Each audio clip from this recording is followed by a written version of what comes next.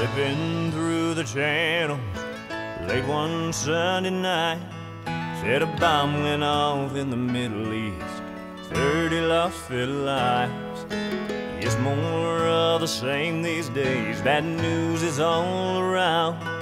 Foreclosures, war, and disbelief are all we ever hear about. And I don't wanna go to the mailbox, cause the bills are piling up while they're rich man.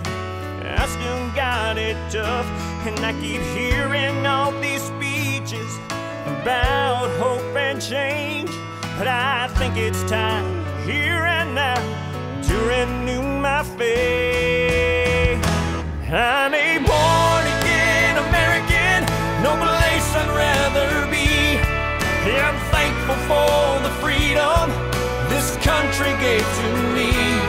So I'll stand up